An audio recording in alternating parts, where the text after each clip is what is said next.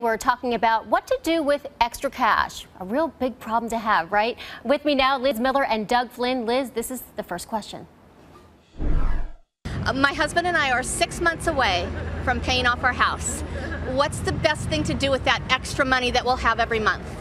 Good for her, right? Congratulations. Well, the first thing I do have to say is paying off a home is not for everyone. It can let you sleep better at night, in which case that's great, but for a lot of people financially, it makes sense to always maintain that mortgage. Since you are going to have this extra money and at the age you are, it's a great chance to start putting more away for retirement, and I would start with a tax-free municipal bond kind of investment fund with that extra money. And what about, what do you think, Doug? Well, the first thing I would do is eh, take the exact amount of the mortgage payment that you used, you were used to making and, and save the exact dollar amount to the penny. that's an idea. And set up an automated deduction right out of your bank account. So literally, don't even let one or two months go by. You won't miss it. Nope. Right. And then if you do, it's going to be hard to come back once you get a couple months into that. So capture it right away. That's some great advice. Thank you. And if you have an issue you want our experts to tackle, upload a 30 second video with your help desk question to ireport.com.